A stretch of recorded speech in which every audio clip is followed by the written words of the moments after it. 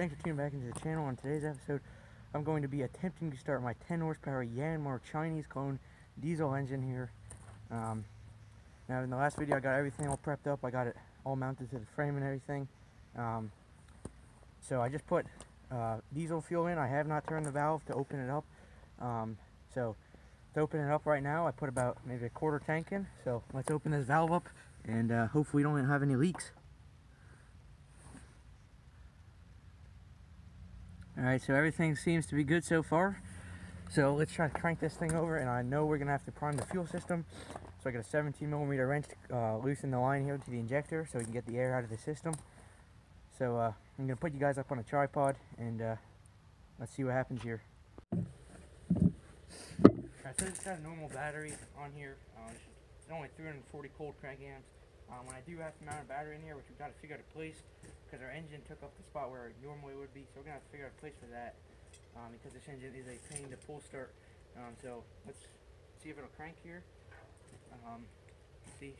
Well, maybe we got to hold the compression release down. Alright, so let's loosen this injector line. Um, and uh, see if we can get any fuel to come out. So this is a yeah 17 mil, and it's on there, but there we go.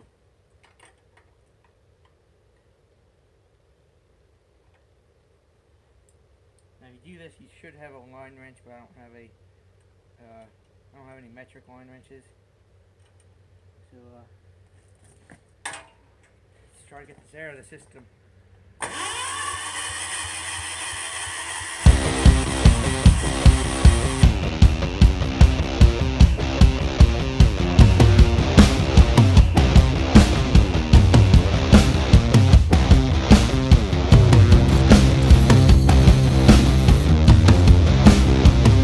So I got a jumper pack on there. Hopefully we can get this spin fast enough. Um, and uh, see if we can prime the fuel system here. It's also pretty cold out, so probably not the best time to be doing this, but hey. Oh yeah, she's definitely going to spin a lot faster this time. Oh, it would also help probably if we uh, maybe turn it to the start position. That would probably also help as well.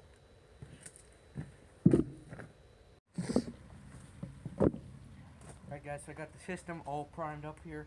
Um, I'm going to be completely honest, my phone died recording it, and it fired up a little bit, but I only had it running for like two seconds, so uh, I got my Autocar truck battery on here. It was one of two, um, so that should definitely be enough to crank it. Um, these things are 950 cold cranking amps. Um, I may or may not have uh, blew up a brand new lawnmower battery not blow it, blew it up with the sides are starting to expand, so may or may not have done that, but, uh, you know, she'll be fine. So, uh, let's get to cranking this thing up and seeing how she runs. Um, I have not had it really running, only for a second, as I said, so let's see if she'll start back up for us.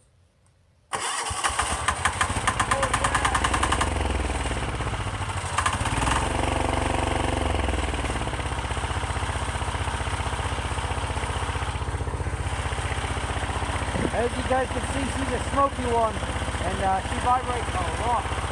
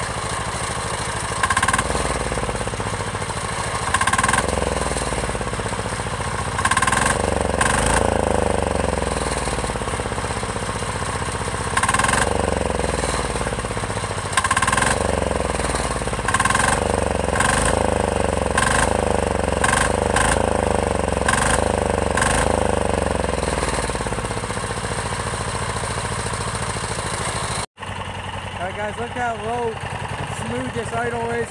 Idle super smooth. Everything is working good. Um, it does vibrate a good bit though. Um, you, can, see.